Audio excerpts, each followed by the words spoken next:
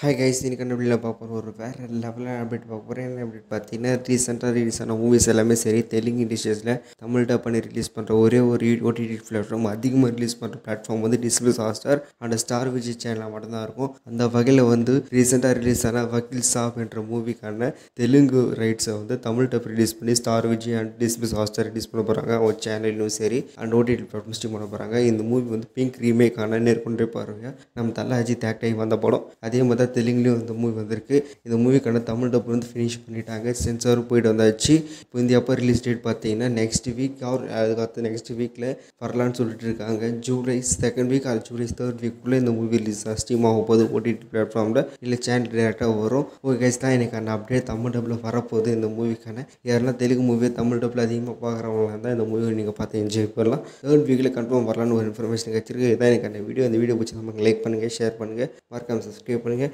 Stay tuned, stay safe.